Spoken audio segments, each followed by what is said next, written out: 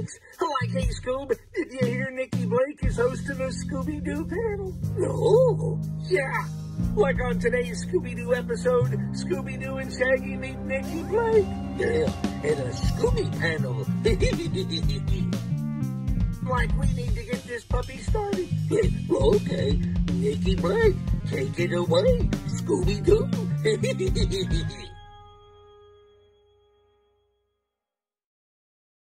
Welcome to the Scooby panel. I'm Nikki Blake from ScoobyAddicts.com. I'm joined by Wendy Brydge and Will Davenport, and we are talking to Tristin Cole. She is a background painter on Scooby Doo.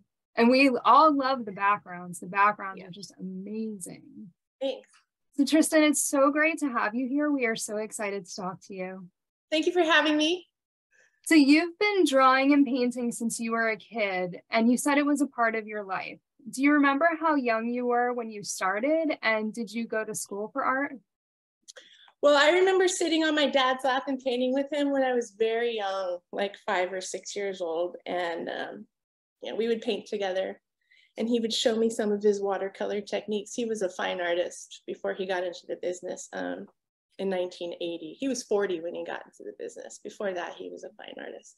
So I grew up watching him build models and paint backgrounds, and I was always around art. And um, when I was like eight years old or so, I used to watch these videos on how to draw cartoons. There was a Disney animator that put out these videos. And that's where I first learned how to draw like 3D, three dimensionally, trying to like, you know, see shapes and blocks and boxes and things in like a three dimensional way instead of 2D way. And I used to keep sketchbooks and try to draw like Disney characters and Hanna-Barbera characters. And yeah, I mean, I always kind of draw, drew. And um, we had an animation desk in the corner of our living room. And it had um, it had a light disc and uh, peg bars and like stocked with paper and animation pencils. And I used to draw little stick figures bouncing around the pages. And I would make flip books. And I loved to see things move, you know, and um, yeah, so let's see. Um, I would sneak into my dad's stash of cell vinyl and, and try to do background paintings and I would play around with his airbrush because he had a whole setup in the garage. He used to freelance in the garage sometimes like at night, you know, and that's when he would watch, he would paint Scooby backgrounds and actually he only worked on two Scoobies, I think. He did the 13 Ghosts and the um, and the Scrappy one, right? The rest of them, it was like Smurfs, like tons of Smurfs, which I love, and like Kwicky Koala, stuff like that. So, I mean, I, I grew up watching the cartoons and, um, and I, I just, I, I realized at a certain point that that was like a job, like you could do that, you know, and that was, it was really interesting to me. Um, and then, uh, I went to uh, college at our local city college and I took basic art classes like um, human anatomy and life drawing. And I knew that I wanted to be a background painter and nobody really taught that at the time unless you went to like an art school, which we couldn't really afford. So I, um, as soon as I could, I started taking classes at the Union and at a school in Sherman Oaks called the Associates in Arts. And those uh, classes were taught by Disney feature artists. And I was getting like the best education you could possibly get. I was learning how to paint um, Lion King grass from Christy Maltese and um, stone texture like Notre Dame, the Hunchback of Notre Dame from uh, Serge Michaels and Michael Kurinsky who painted on uh, Beauty and the Beast. Like I was learning from these guys exactly the techniques that I needed to know for background painting. So um, that was really cool. And then, yeah, when I was 20 years old, I got an opportunity to work at Warner Brothers. And instead of finishing my educational career, I decided to go to the school of Warner Brothers and started working in the business. That's great. Yeah. Can you walk us through your career? You have worked on a lot of Scooby Doo over the years? Yeah. um, okay, so I've worked on a lot of stuff. I'm gonna just stick to the Scooby, mostly the Scooby stuff. Um, so when I was 20 years old, I worked on Animaniacs. That's when I started as a PA. and um, was a producer's assistant and uh, started kind of getting to know the ins and outs of animation. And I would paint backgrounds at my desk between, you know, job duties and things. And uh, being around all of those great artists really fueled my passion for wanting to be an artist. And uh, about a couple years later, well, three years later, there was an art position that opened up as a prop designer. And so I I jumped on that um, opportunity, and that was I kind of started learning how to draw on Road Rovers, which was after Animaniacs, and then um, and then Hysteria was my first job as a prop designer artist, and that's where I met Jerry Eisenberg and worked with Scott Jeralds and I think I worked with Scott on Road Rovers too, and I think on Animaniacs, but we weren't directly working together. But yeah, and as uh, he was my supervisor as an artist on Hysteria. I got a computer. I started learning Photoshop, even though everything was traditional. I used to play around with the computer. After Hysteria, I went over to Disney and worked on a few things, um, Clerks, and like Lilo and Stitch. And I was asked to come back to work as a background painter for Scott on Static Shock. And that was like my first background painter job. And it was digital though. So it was actually one of the first digital shows I think that they did at the studio. And um, I remember like working with David McBride, who worked on a lot of Batmans and stuff, and he was so pissed that we had to do computer. but uh, the the studio was pretty excited about it, I think, because you know new technology and not having to buy all those brushes and paints and stuff. But um, let's see. So I worked on um, Static Shock for a couple of years. And then in 2002, my dream to work on first Scooby project came up, um, The Legend of the Vampire. and it was really cool because Iwao was on it and Jerry was on it and uh, Scott and Joe and a lot of the people I worked with on Hysteria. And, um, and it was with, uh, you know, the original voices, um, you know. So yeah, it was pretty cool. And uh, um, the only problem was the schedule and the budget. We had to make it as good as we could, as fast as we could, which is in true Hanna-Barbera nature. so, um, but uh, it was kind of cool on, on Vampire. I ended up coming up with the colors for the for the main vampire. Um, and um, my favorite part to paint on that was the interior groovy trailer at the festival grounds. and um, and the vampire's lair. Um, so then let's see, um, right after that, we jumped into the Scooby-Doo Monster of Mexico and, um, and then into the What's New Scooby-Doo series. And that was all pretty much the same crew. And, um, and then 2004, I started working on the Aloha Scooby-Doo with Tim Maltby, Canadian. and uh, painted with Trish Bergio, who was a female background painter also. She was from Batman animated series and awesome. And, uh, and then we went into the Loch Ness Monster with Joe Sichta.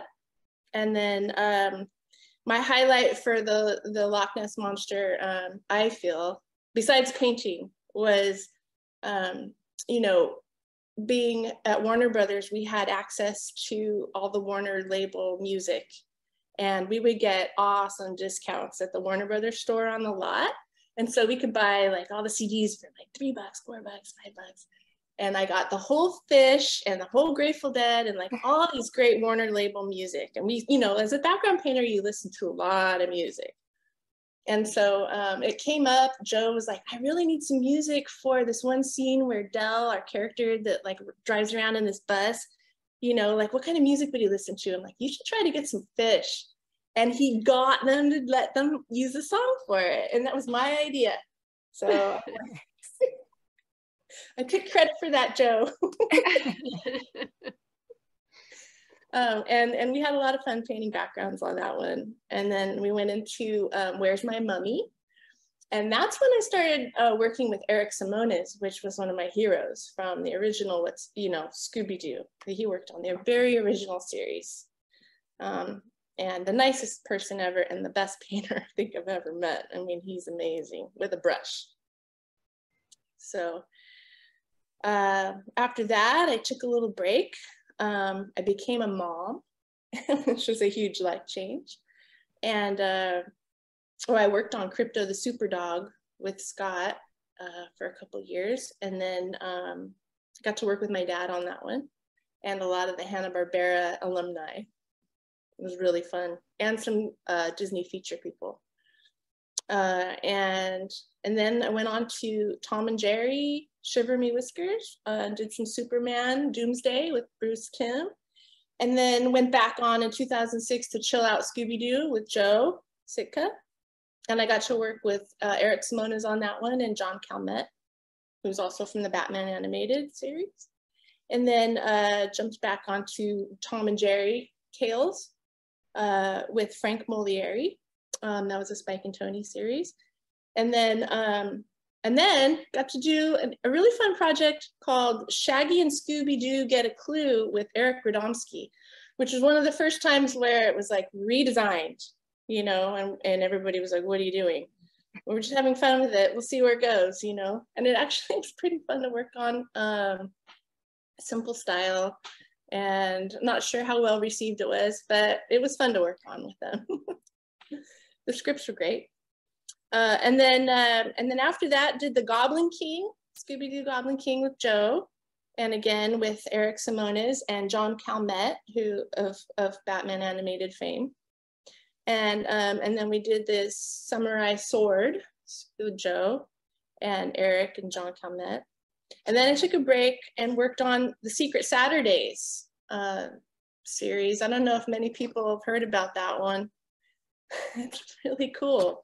Um, and that was with Scott. And he he brought over, it was at Porchlight Entertainment. We, he brought over a lot of the Scooby people for that. And uh, and then I did some Avengers, Earth Mightiest Heroes, couple seasons of that. Um, and then I was asked to do uh, in 2010 this Batman Brave and the Bold episode where uh, there was a Bat-Mite sequence featuring Scooby Gang with Batman and Robin, and they wanted it in like a retro style. And so um, I was really proud of how it turned out. It really, I think it was really fun to do. Um, and Weird Al Yankovic was in that one, I think, as well. and that was with Bill Dunn. And then uh, in 2011, um, I went over to WildBrain and worked on the Ricky Gervais show which was uh, interesting because we did background design and paint. So they kind of eliminated one of the, you know, they just kind of combined them. And that was really super fun. Uh, and then I came back and I did the Tom and Jerry Robin Hood and his Merry Mouse. Um, and that was a Spike and Tony uh, produced with some of the painters were Mike Humphries and Donna Prince. It was a beautifully done um, direct to video. And then in 2012, uh, did the Scooby-Doo Haunted Holiday. So I did a series of videos with Eric Simones as the art director, Vic Cook was the producer, and um, it was the Haunted Holidays, Mask of the Blue Falcon, Spooky Scarecrow, and Mecha Menace.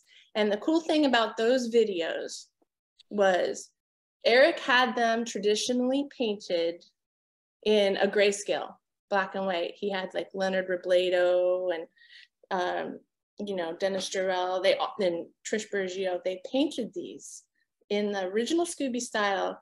And then I, they gave them to me to infuse color into the, in the computer to give, so they had the original painted look that you can't really get with a computer, but then like, you know, colored vibrantly like you can with a computer.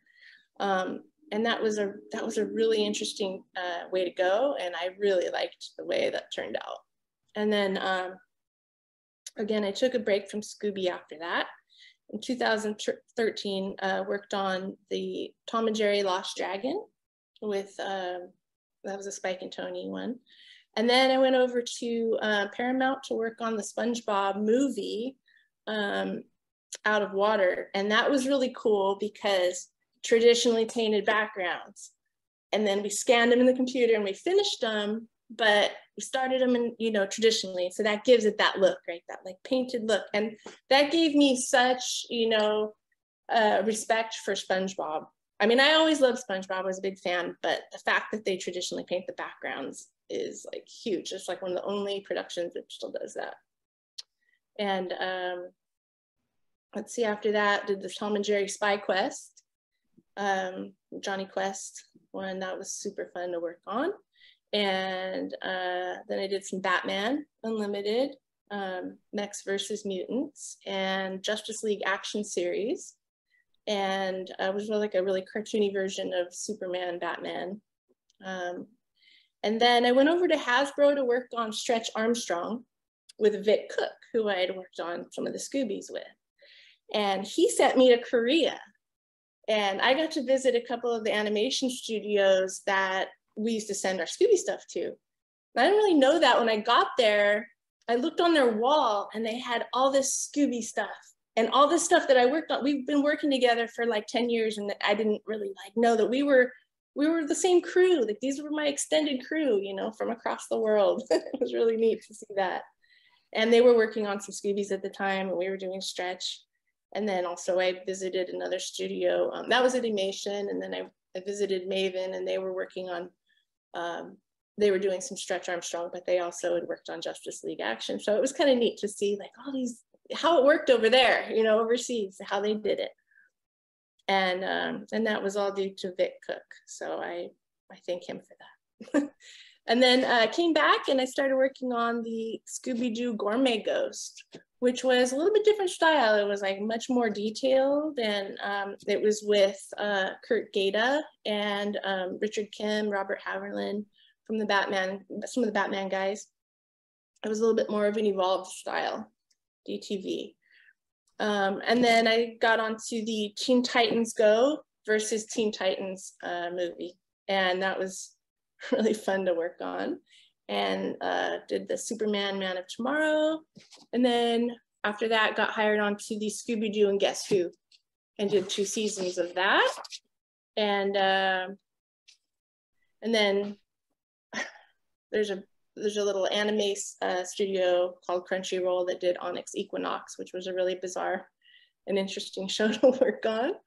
Um, and then did some Batman Long Halloween backgrounds and uh, and then my boyfriend's dream was always like for me to work on Freak Brothers, and I reached out to the guys over there, and I ended up getting a job on Freak Brothers. So I worked on that for um, like five episodes, and that was super fun. And then uh, and then got hired on to Animaniacs, which is the very first show that I worked on 25 years ago. so full circle, and I've been on Animaniacs now for the last three years, three seasons. So still doing post on that. That's pretty much it. I did 15 different Scooby productions and literally thousands of paintings. That's amazing. Yeah, you've had an incredible career. You're you've just yeah, worked on so many... I have one speed and that's just crank, crank them out. and that's that I learned from my dad. Honestly, it's like that's the Hanna Barbera. You know, I mean, gosh, he used to tell me about their quota. You know, he would say they'd have to do four paintings a day. You know, and then you know they'd all hustle to grab the A to G pans, the sky pans, and the wall cards and stuff, and try to like just get those. You know, they counted. but yeah, I think he said his record was 70 paintings in a week. Wow. Which, yeah, oh some of goodness. them are pretty loose. That's those big brush painters, you know. But it's different in a computer. You can't go that fast, I don't think. It, you know, it takes twice as long to get that painted look in a computer than it does just doing it traditionally. Wow. But 70 yeah. in a week. That's crazy. No, that was insane. I don't even know. Like that must have been just one week. I, I don't think you can keep that up, you know. That's crazy. But yeah he had a family of five to feed, so he's motivated. what was it like growing up watching cartoons and then getting to work on some of those cartoons in your career? Yeah, it was it was surreal. Um, you know, realizing that somebody makes those and how many people it takes to make those. I mean, um, it was it was rewarding and a dream come true um, to work on some of the shows that I grew up watching. You know, like Animaniacs, I used to watch when I was a teenager, and then I used to see Bobby Page's name on the credits, and then I went and I interviewed with Bobby Page. and I was like, oh, you know what? Like, oh, starstruck. but yeah, I mean, to actually be a contributor and a brainstormer and a collaborator, um, and it seemed very intuitive for me. It kind of came naturally. I just, I think I was kind of submerged in it, and it didn't really seem like it just seemed natural and um, and very dear to my heart to be able to do that. So yeah. you got to meet Iwao Takamoto when you were eight years old, and then got to work with him on Scooby Doo later at Warner, Warner Brothers. What was it like meeting him and working with him? So when I first met Iwao, I was a child. I was I was like eight years old. I used to. My dad would take me and my little sister to Hanna-Barbera with him when he'd have to like pick up freelance or whatever. And he'd give us money to go get some like snacks out of the um, candy machine. And so we'd sometimes get too much candy. So he was like, okay, we're going to meet Iwao. I want you to like stand by the wall and just watch, you know, like behave yourself. Don't bounce off the wall. Um, so uh, I could sense my father's level of respect for him. Um, he had always talked so highly of Iwao. And uh, when I finally met him again at Warner Brothers in my early 20s, I was starstruck and intimidated. and um, one day I bumped into him in the hallway and I reintroduced myself and I asked, I told him of the day that I met him and I asked him, uh, if he remembered and and he looked at me with a smile and he said i remember. And that really warmed my heart you know it, yeah. So uh, working with him was was um, enlightening for sure. Yeah meeting him was was uh, at the time I, I didn't know. I just felt like the sense of importance you know? I didn't really know like that he was responsible for designing Scooby Doo and all the shows I would work, I would I would watch when I was a kid.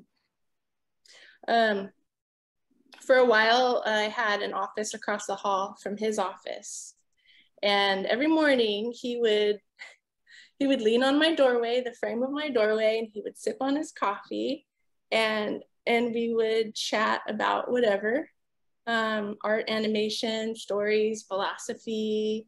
Um, he was a bit of a gabber.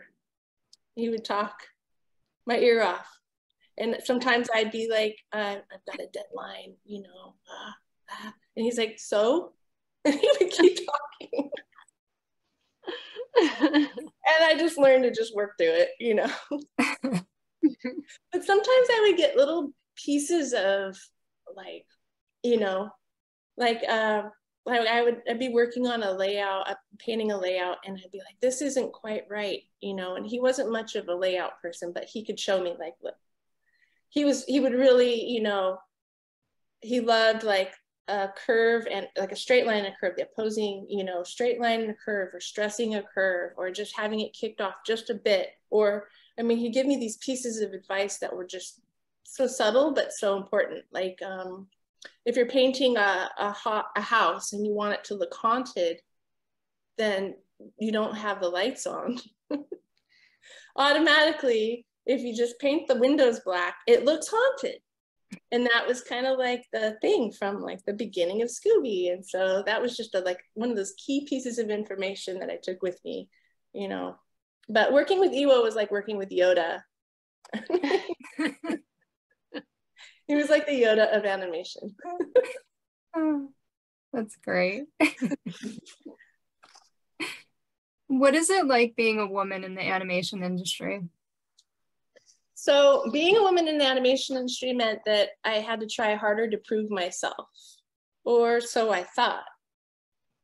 But really, I guess I was fortunate to be surrounded by men who were supportive and respectful, and I never really felt different you know, I recently had a conversation with my dad about it. I'm like, did you ever see me as like a woman in the industry or different or anything? And he's like, no, I just saw you as like, you know, another artist.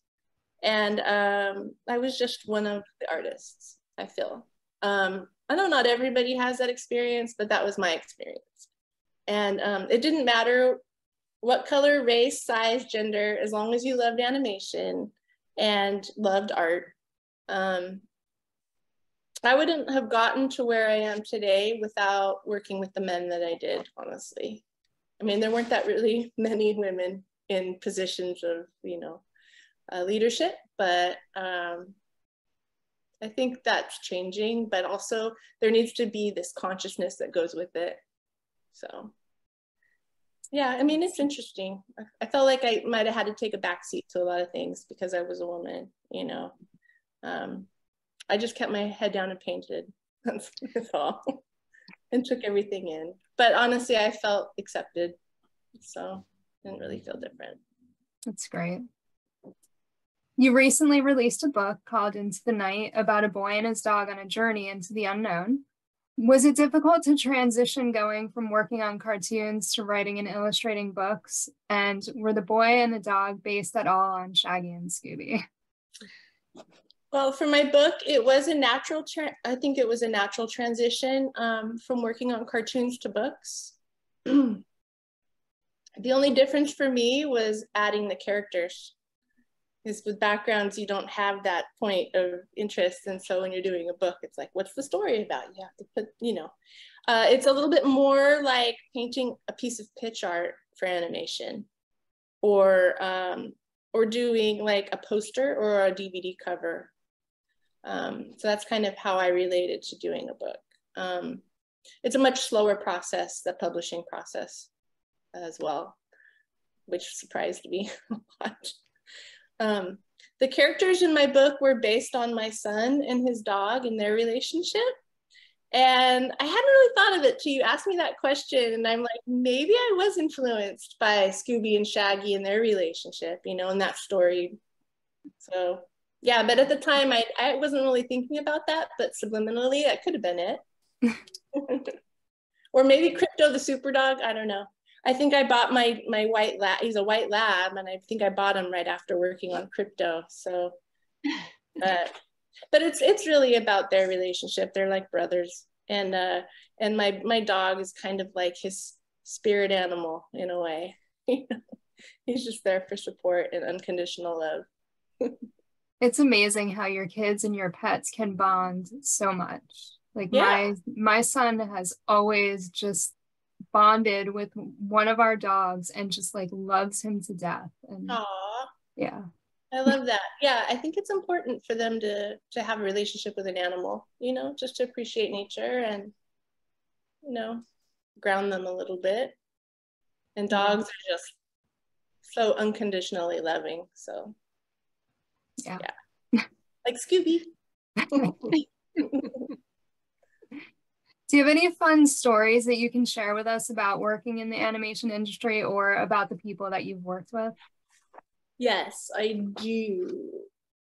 Where's that? Oh, fun story. I have so many fun stories, but I had to narrow it down.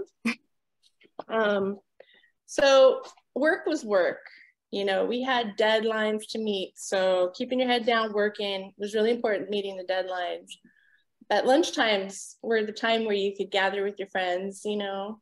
I I I used to work uh, really closely with the Batman guys. I would go to lunch with them, you know, like different crews and hear different stories. And I did have um, a tendency to work through lunch sometimes and I think that's why like Iwao and Jerry started kind of asking me out to lunch because they're like, no, you gotta, you know, just because they want you to work through lunch and you know what I mean? It's like take a break. But um sometimes you would leave your cubicle and you would walk out in the hallway and you would run into famous people like Chuck Jones. I mean, this was like in the early days. I met Chuck Jones, uh, Ruth Buzzi, Mark Hamill, I mean, you know, they'd come to the studio to do voices, they'd walk around, see the artwork, and it was like, you know, it was like sometimes you just run into people. It was that was pretty cool. Um, and yeah, sometimes I would get asked to go to lunch with Iwao and Jerry and Joe and Scott. And um, that was always fun because you never knew it was going to happen. um, we would get noodles a lot. Uh, we had our favorite places. Um, we would go to Japanese food a lot. And Jerry would always make the waitresses laugh. He would speak Japanese. I don't know what he was saying, but uh, they would laugh. And um, if you didn't eat your food fast enough, I was a slow eater. Jerry would like start eating your food. So would try to eat faster so that he wouldn't start picking on my plate. Um, and this one day we were we were coming back from lunch and we were driving down Ventura Boulevard towards Sherman in Sherman Oaks towards uh, where we were working, and he saw Mr. B's Cadillac parked outside of this Italian restaurant that's closed during the day, but they opened up for him. And so he's like, we're going to come by, we're to surprise him.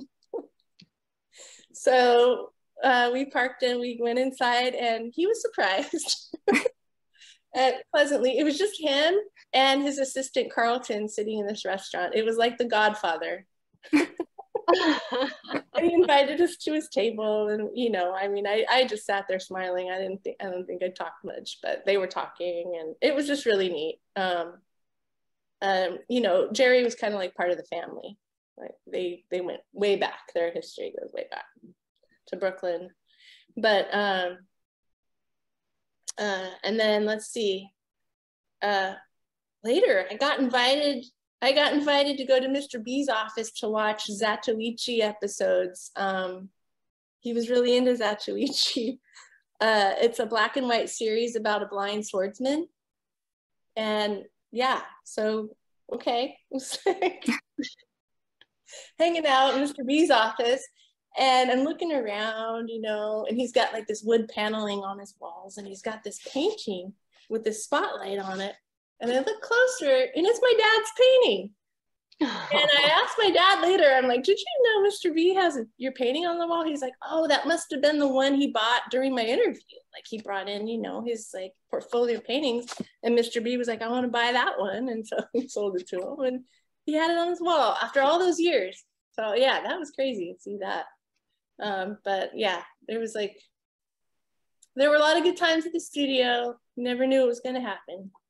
And working with those, those guys is, something that I, I I still like I pinch myself. I'm like, gosh, why was I in animation during that time? That you know what I mean? It's like it's not like that anymore. It really isn't. And hopefully it'll get back to that at some point. But right now it's just kind of who knows. yeah. Where everybody's kind of working in their houses. So yeah. Yeah. Some people That's, are going back. Yeah.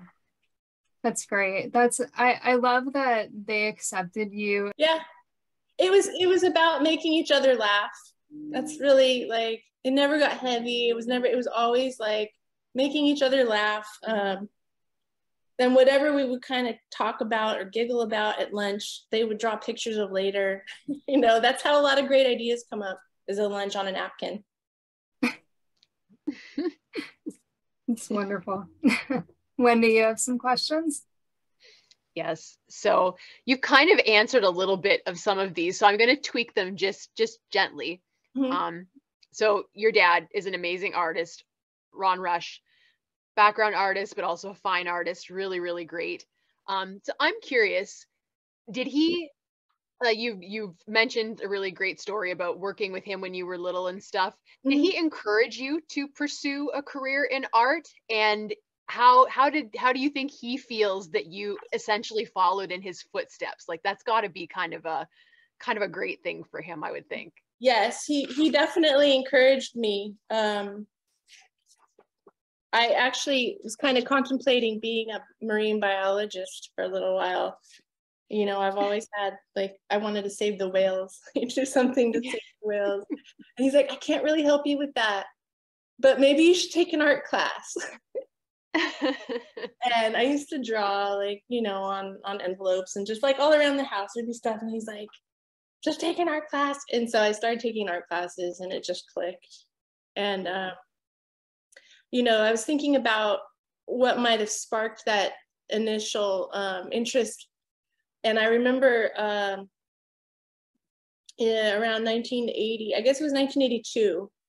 Uh, he had been at Hanna Barbera for a little bit, and he was working on Heidi's song um, with Paul Julian, and uh, they had a premiere that he took the family to, and it was it was really different for us. We're like, whoa, we're gonna see your work on the big screen. I mean, we're used to seeing it in like art galleries and stuff, and uh, and seeing his dad's painting, he would be like, I did that one, I did that one, you know, and uh, it was just like, wow. Um, I kind of realized that that might be something I want to do. That's really neat, you know, and um, yeah, so he definitely encouraged me, and um, and I think I I think he could tell that I had a little hankering for it anyway. So, but yeah, like working with him was really weird because I thought oh cool i get to work with my dad. We're gonna drive to work every day and we're gonna hang out. Like no no i want to like go do my thing at lunch. You go do your thing. And so we didn't get together. It was like we just showed up. Hi hi. It was like working together but not like family. It was funny. Yeah. He you know, he wanted his freedom. He wanted he had his thing going you know with his friends yeah. and stuff and they had the thing and i was like oh, okay. He didn't want me tagging along. Yeah. He was on Freakazoid when I started on Jack Hyder's crew. And yeah, I was just like, I was on a different floor, so it didn't really, didn't really see him much, but we were able to work together on a few things. Yeah. Can you elaborate a little bit on what kinds of things you guys collabed on? Yeah. So on Road Rovers, uh, I was a production assistant, um, but he was like a, um, he did development, a lot of really, really cool drawings for that show that they never used, but they kind of, you know, they simplified down. I mean, his drawings are, are like, he paints with a pencil. I mean, he was a painter for a little while and he transitioned to being a, a background layout artist and pretty much did that for the rest of his career. I mean, he had this way of before computers he could draw environments in any he could turn them and you could do things that like nobody could do and he would draw these beautiful drawings that I, I mean following in his footsteps is like i couldn't follow in his footsteps i would have to make my own footsteps but i was definitely inspired by him um, and then yeah we worked on Histeria but we were on different crews i think he worked with um, Herb Moore on his crew. Uh, I think he did layouts and um, and then we worked on Krypto the Super Dog and he did the layouts and I painted the background. So that was pretty cool. Oh, that's cool. I got to paint. But his backgrounds were a little bit, I don't know, like I was just like, Dad, you gotta fix this one thing. And he's like, get annoyed. It's kind of funny. it, you know. So yeah, that's family. that's so cool. I'm, I'm glad that you guys got to work together and and not just be in the same building, but to actually be able to say, you know what, we both we both put put our our special touch on this project, and I think that's great. I I can oh, just imagine sure.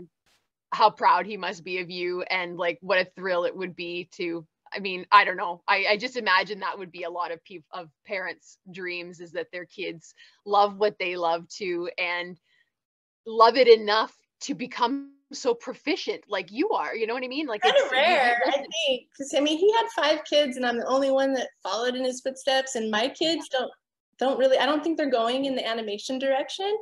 And I'm like, come on, don't you want to? No. yeah, that's great. Yeah, it just worked out that way. Yeah. So background painting and background design are not the same job. Mm. Uh, could you please explain to us the difference? And is there ever a time when the background designer gets to paint their own background? Yeah, so background design is black and white.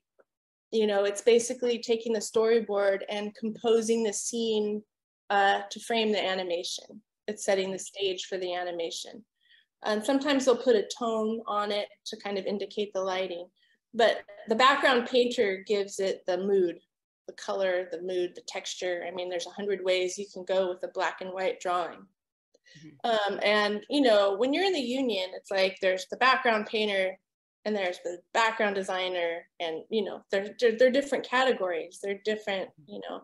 Um, but when you're working at a non-union studio, sometimes they're like, oh, paint background to the drawing, you know, like combine it. So um, yeah, like on uh, the Ricky Gervais show, we just took the storyboards and then we just made our own background layouts and painted them, which was like the first time I've ever really done that, and it was it was really fun.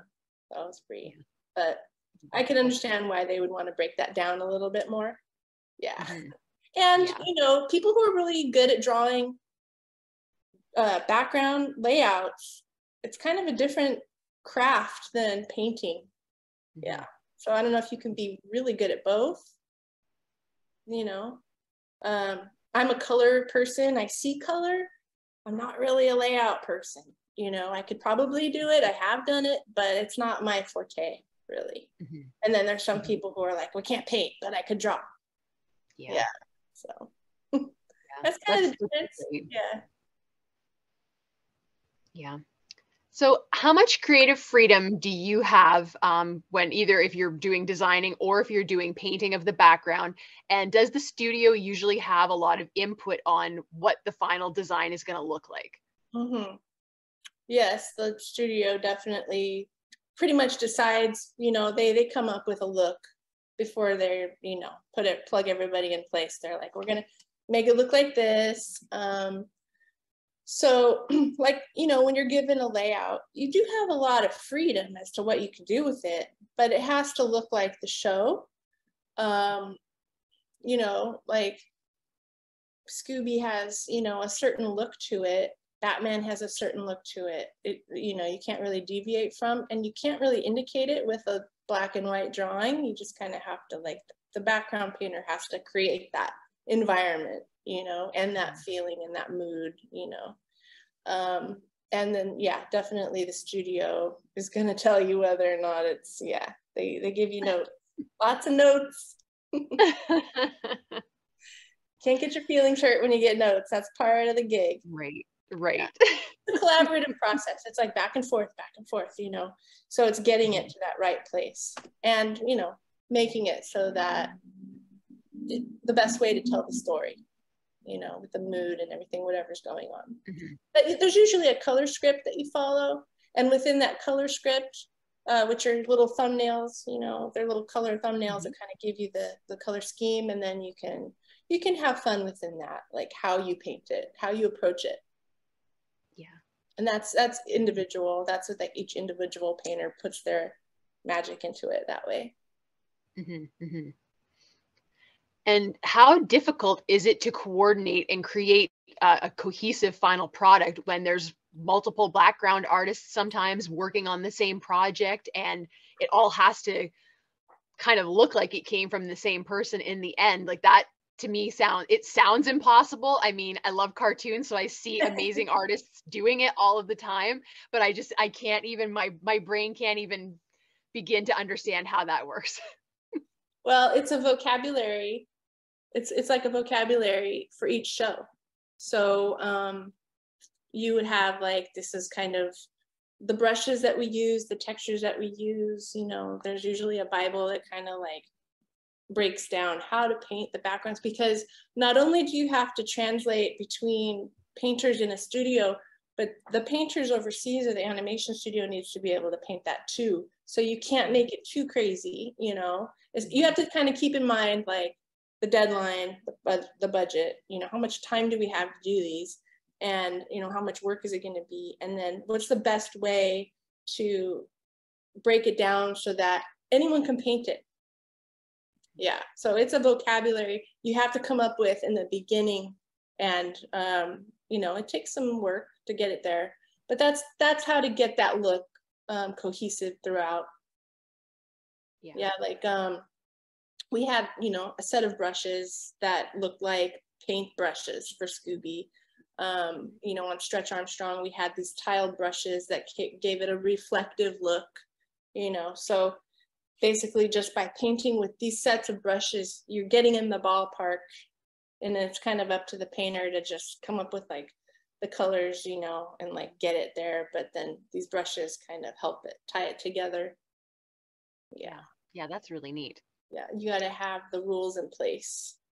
Mm-hmm. The line mm-hmm. weight, you know, just whatever it is. Yeah. Yeah. So, especially with your dad being a fine artist, as well as like working in animation, um, I would imagine that you have been exposed to a ton of great art and great artists in your life. So, what artists have inspired you in your work? Yeah, um, I was pretty much inspired by um, like animation artists. He was inspired by Andrew Wyeth. I think that was his big, mm-hmm. like, you know, like as a painter. Um, for me, Mary Blair, Walt Peregoy, uh, I studied Eyvind Earle, Paul Julian, um, Maurice Noble. Those were my favorites. Yeah, yeah, that's great. So, traditional versus digital. It's always a question that we like to ask when we have artists on. Um, so I, I'm interested in your opinion. I've got kind of a sense of it from things that you've said tonight. Um, but what is your opinion on which is maybe better if if you think it's either? But I'd also love to know if you think that a hybrid between traditional and digital might be better than just digital I mean, I think that eventually digital is just going to completely do away with traditional. Mm-hmm. Do you think that a hybrid of like the best parts of the traditional and the best parts of the digital, like we should be striving to keep a little bit of both rather than just going straight from one to the other and one is no longer relevant? Well, I think that, um, you know, the computer is a tool. It definitely helps with animation. Like, say you paint a traditional background in day colors and this something happens, a script changes or storyboard changes, and you're like, oh, it needs to be sunset or oh, it needs to be night. So then you got to go back and paint it. Well, on the computer, it's really easy to fix. You know, mm-hmm. Um, you can put effects and you can saturate the colors a lot more with the computer. But there's a lot that like painting traditionally really, I don't know, that organic feel. You know, that that hand um, feel. It's just different uh, it kind of just depends on what they want the end result to be. Like if you start a traditional, if you start a painting traditionally and then you finish it in the computer, then you don't really have like the finished piece is a computer piece, you know? Mm-hmm. So unless you finish it traditionally, you're not like holding a painting up. It's like it's finished in the computer. And that's, you know, mm-hmm. that's so that's that hybrid, that combination. Um, I like the idea of actually having paintings, you know, yeah. like like cells and paintings you know it's just I, I but it is a clunky art form compared to what we can do with the computer today um, mm-hmm. I really don't like the ai stuff. Like ugh please don't. Don't go there. Uh, but yeah I, I definitely am a fan of the hybrid um, model i think. Uh, but the technology is getting better. The brushes are getting better. I mean, I remember in the beginning of Photoshop, like it was really hard to find good brushes. And now there's like great brushes that give you that painted look, but it's yeah. still digital. So, uh, mm-hmm. yeah, it's so important to keep your chops. Like, I still paint and draw traditionally on a regular basis. You know, I do figure mm-hmm. drawing and I do painting, and just like I play around just to keep that hands, you know, that tactile feeling. Yeah. Yeah yeah that's good but you know I, I, I mean there's no reason why you couldn't do a, a traditional a traditionally painted show it just mm-hmm. depends on uh what what you know what the project is mm-hmm. But animation i think the reason why we do animation is to be creative and to like have those like abstract and, and funky like happy accidents and things that you, you know so i'd like to see a lot more of that yeah animation, like creative animation, you know, mm-hmm. maybe yeah. like uh, just animate as you think, like just you know, instead of having it all boarded out, right? Sequences mm-hmm. that are just really like kind of go out there and come back, and I love that. That those are some of my favorite sequences and the most creative parts. You know, you don't see it too much. yeah. Unless yeah. it's a real artsy thing, but In a previous interview that you did, you mentioned getting to work with Iwao Takamoto, uh, Jerry Eisenberg, Scott Jeralds, and you said that you guys would have drawing wars. Oh yeah. Uh, that sounds amazing. And could you please tell us a little bit more about this? Well, I was I was looking at some of the drawings. I was I found some. I'll share with you guys. Um, but I think Joe Sichta is the meanest for sure. but okay, so okay, here's a couple examples. Okay, so we would go to lunch. We would just goof around, and then or or say you didn't come into work that day, and then there'd be like all these things on your desk, and you're like, what the heck? Okay, so like like this one, for instance. Um, like I worked at home one day and I come back and there's this drawing of me from Joe, and it's like, I don't know, it's not the most flattering. My Tristin takes a work at home day. And I'm like, thanks, Joe. Okay. And then like Jerry, Jerry was making fun of my he he was a big opera fan.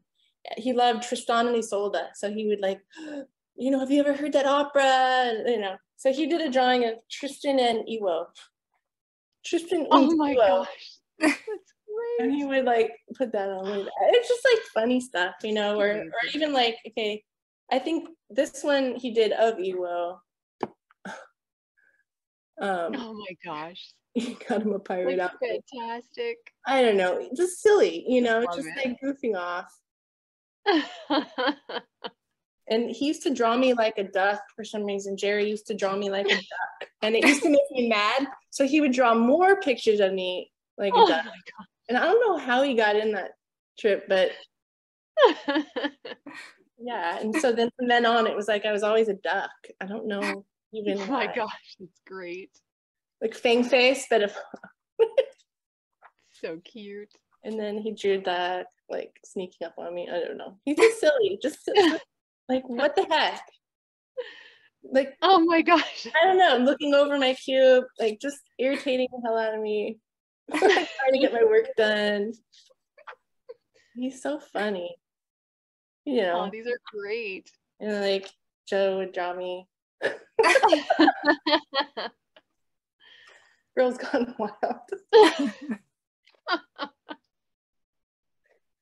So that's the kind of drawing wars we would have. I've got a whole stack of these things. yeah. and then so sometimes cool. Iwao would come around. Iwao would, would correct them if they were.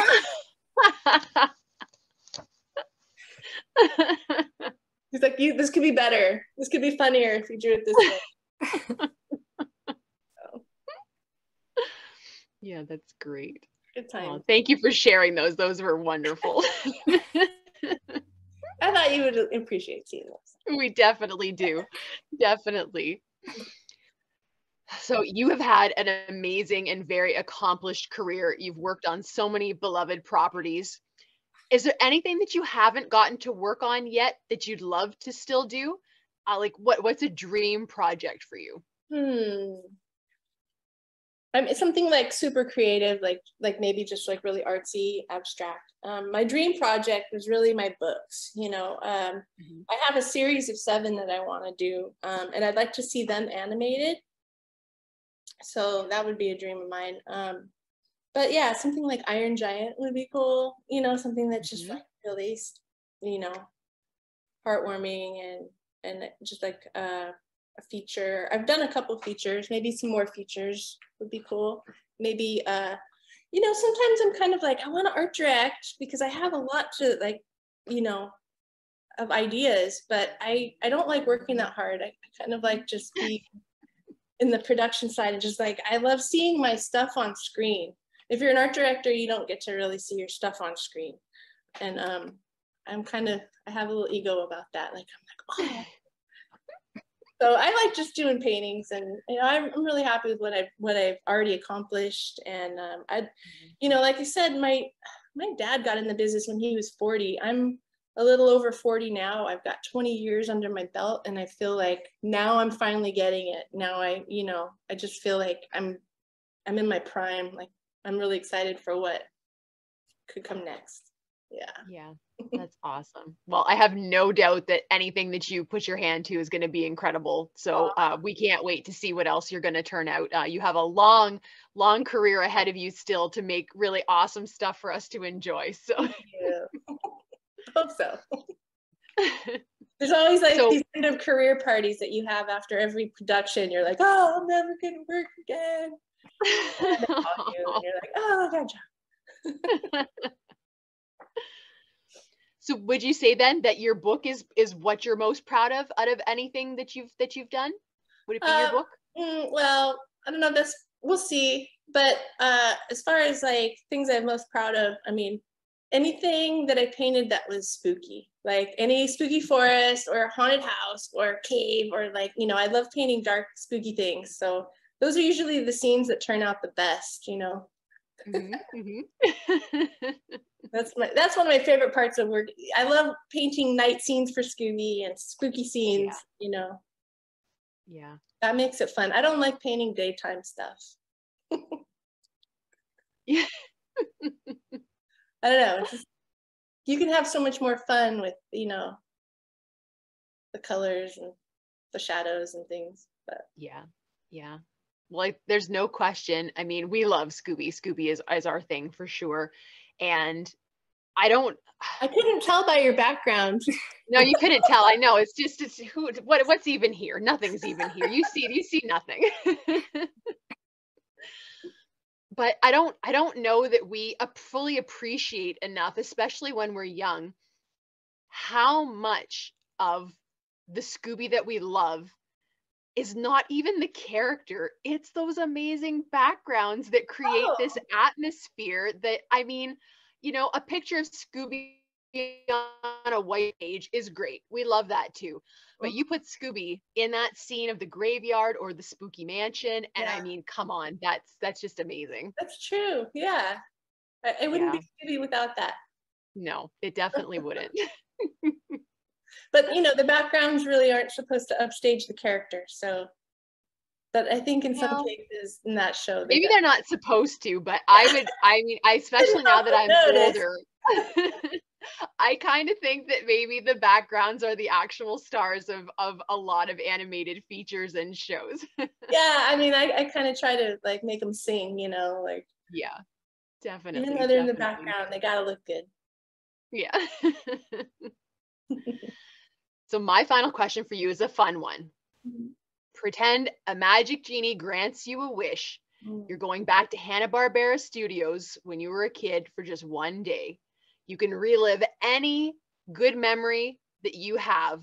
What is the memory that you want to relive again? Mm, that's, I mean, just walking through that uh, background painting department, um, it's it's unlike anything that I've ever witnessed in an other animation studio.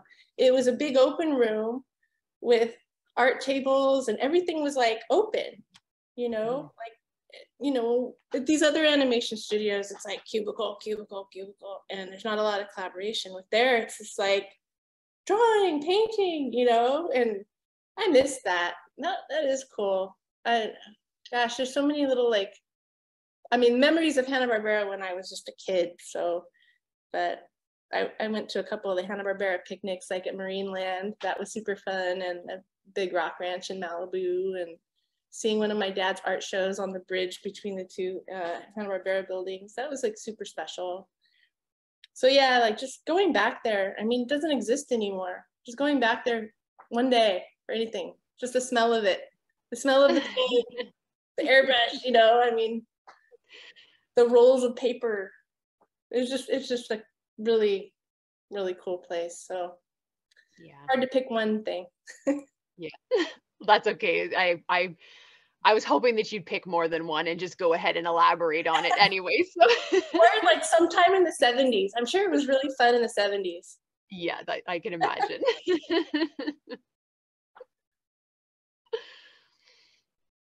Will, you have some questions?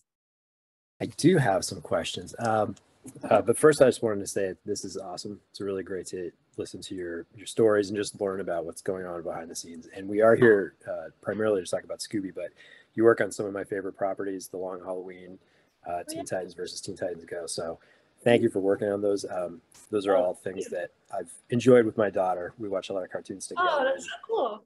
Yeah. Not Long Halloween. She, yeah. Yeah. No, no, not yet. Um, she actually really likes the Tom and Jerry features too. So uh-huh. I was I, I, hadn't realized you worked on those, so that's great. Oh, awesome. Um, in terms of, uh, I'm interested in with Scooby Doo how they made some pretty dramatic shifts in the style over mm-hmm. the past couple of series. They went from Mystery Inc. to Be Cool, and then they tried, and then Guess Who, and um, and you sort of you've already talked a little bit about this, but do you have any uh, sort of insight as to how the art direction style was chosen for for Guess Who? Because it, it was uh, quite a bit different, it, and it was looser. And I, I kept looking at the work there, and I had the sense that it feels loose and it feels fast. But I had sort of this thought in my head that I bet it it actually takes as much time as anything else. It just has that feeling to it, um, mm-hmm. which gives the the series a certain feel. And I thought it was a nice change from what had preceded it. But do you have any sense as to why uh, they made some of the decisions they did on Guess Who? I think, uh, well, first I have to say I've never worked on a googly-eyed uh, Scooby, so I'm happy to say that I've never worked on anything the big ah. But um, uh, I think Nadia Mori, who was the original art director on that show, was kind of responsible for this setting that style. Um, it's just like a super colorful, quick graphic style. Um, and so she's probably the reason why I, I, came in on that series a little late. I, I, came in after the first couple episodes, so it had already been established. Um, they went through a lot of people on that series. Um, uh, I really like the looseness of it. I, you know, I'm not a huge fan of like SketchUp layouts or, you know, like really realistic stuff. Like, I don't think that's Scooby. For me, I feel like Scooby is like a loose, fast, you know, but that was done in a little bit different way because it was very vibrant and uh, it had a little different style to it. Um, so, uh, but yeah, I think, I think she's the one that, that really set that style and then yeah. she she did the first season and I think went on to Nickelodeon after that. But um, she I worked with her on Clerks and and on Avengers and um, she worked on Iron Giant. She's an amazing painter. Um, so yeah, we were lucky to have her for a little while while she was there. Also, Eric uh, Eric Eric Martin was another painter that was on that um, series that paints in that style, like that loose style. So I think he helped set the style as well. Uh, and then he left and he went on to Solar Opposites, like halfway through that. So. Huh. Okay, but I'm gonna check those out. Yeah, for sure. Um, and actually, what my next question kind of ties into what you were just talking about, which is you said that you had worked on the um, the Gourmet Ghosts, right? The direct to which in my mind, and I might be misremembering, but I actually remember feeling like that one was very detailed and had yeah. very. That was very done. I think they used SketchUp a lot of for the, a lot of the uh, background layouts. It was very detailed. I had to work on a lot of the library scenes and the books, and yeah. like I was just like, oh. yeah, it was it was very realistic, kind of straighter, more realistic. But it was just another, you know, another way to do it how much more time uh, would it have taken to work on between the fact that it had a more detailed style, but then also the fact it was a direct to video movie, like so like a longer production. Mm-hmm. What's the difference between working on a series and and one of those um, feature length videos? I, I, think that the series sometimes I think series tend to have a longer production schedule. The the DTVs kind of go fast. You know, you've only got like a few months on those, or I mean, it kind of depends. Um, but normally you it's it's weird. It's like in a way you have a longer time period of time to flush out the background paintings. So you could really like elaborate on the background paintings a lot more than in a series especially like guess who? Every episode took place in a different location. So there was no reuse.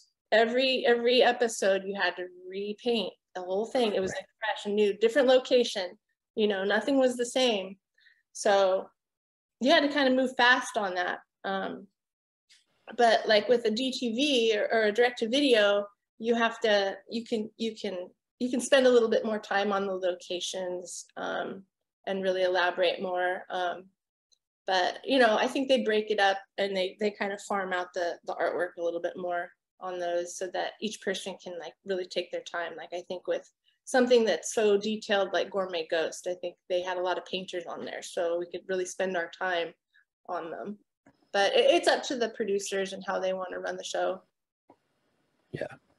Um, and I don't, I don't know if this is, if you can um, explain this, but uh, is there any length of time that you would say it takes to do one of those more detailed ones compared to something that you might have done for like just the number of hours that you put into those uh, i don't know if it's probably varies from like every every piece that you're working on. I mean i try to do really like a painting a day but some of those take yeah. like a week to do you know it really? just depends. Like if it's a you know if it's an establishing shot it can take a long time to get it right you know? Yeah. Uh, it just depends on how much detail is in the in the painting you know? Yeah.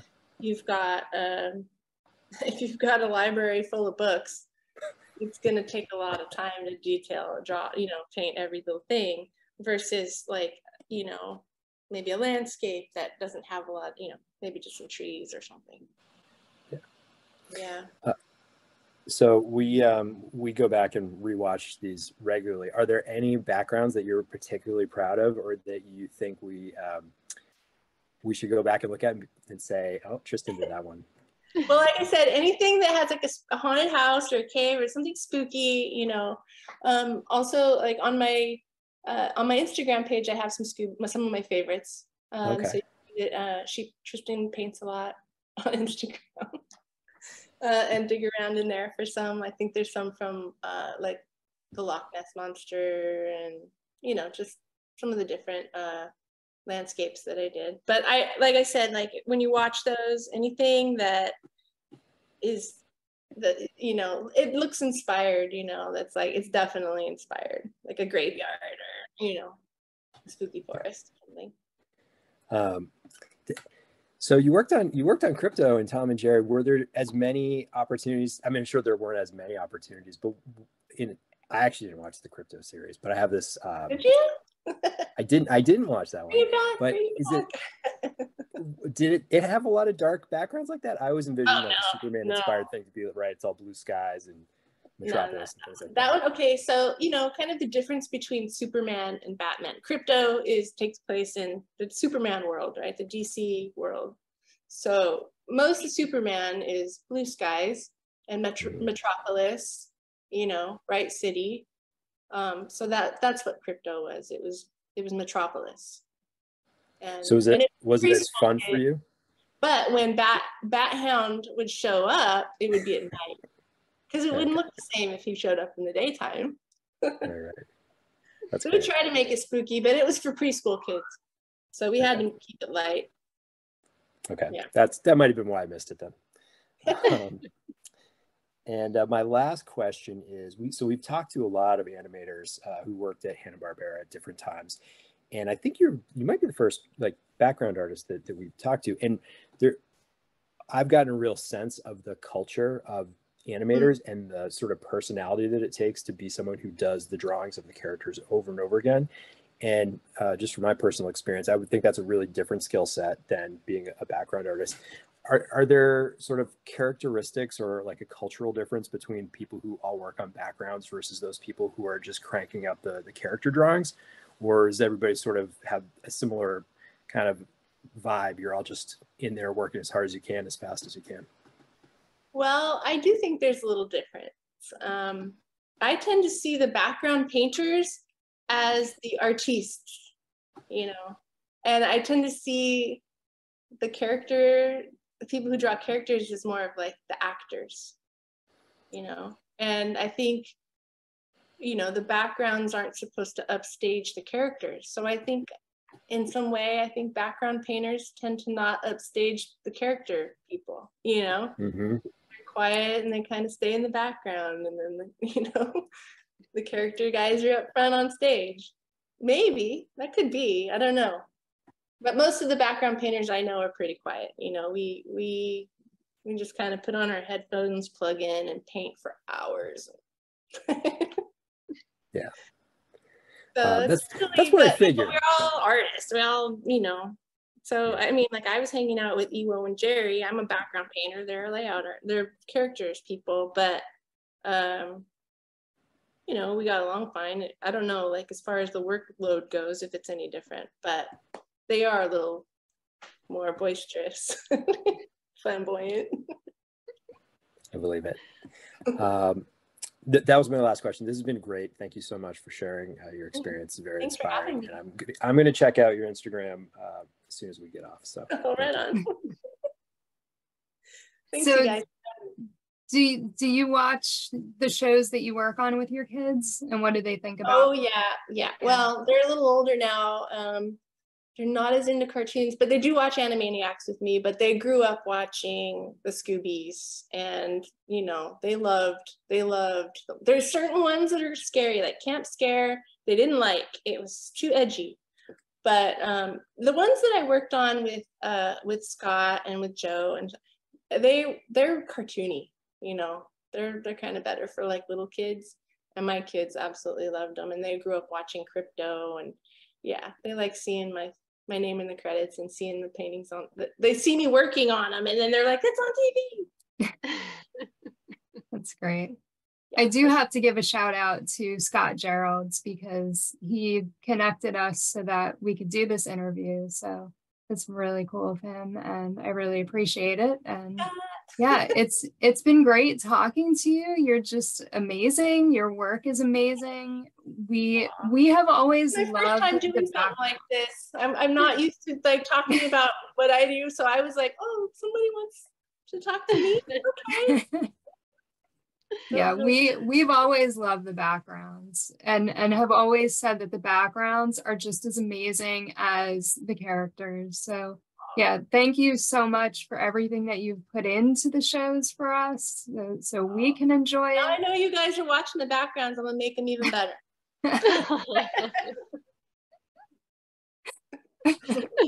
Thank you for what you do for scooby and for keeping the dream alive. Yeah we we love scooby right in case you couldn't tell and and will and wendy are also artists. They do some oh. really awesome scooby drawings and other drawings and wendy guys. makes some crazy things. So yeah. Yeah. Awesome. it's it's great to fun. It's just fun to you know just have fun. That was like yeah. Yeah. if it's yeah. not fun don't do it. That's right. Important. yeah yeah but thank you so much for your time we really really appreciate it Oh, you're welcome. Yeah. Thanks for everything, and you. it was really nice meeting you guys. it was nice meeting You you, too. too. It's great to Thank you meet so you, too. Thank you All so right, I'll be tuning into your future podcast. much appreciated All right, Thanks a take care, lot. you guys. All right. all right okay. Bye, Good night. Kristen. bye Bye. Thank you for tuning in to another Scooby panel. I'm Nikki Blake from ScoobyAddicts.com. If you like these panels, please subscribe to my channel for more great discussions. A huge shout out to our patrons Ross from ScoobyFan.net, Scooby Doo of Roblox, and Ruth Elliott Hillsden. If you would like to support the Scooby panel, please go to patreon.com slash ScoobyAddicts. A very special thank you to background painter Tristin Cole, artist and Scooby fan Will Davenport, and artist, blogger, and Scooby collector Wendy Brydge. Scooby Panel is available in podcast form on most podcast platforms, or as a web series on YouTube. Scooby and Shaggy were voiced by Scott Innes. Check out Scott's website, onescottshop.com. Scooby Addicts artwork by Will Davenport. Video editing by Nikki Blake. Music composed and performed by Bovine Nightmares. Please join us next time for another Scooby panel.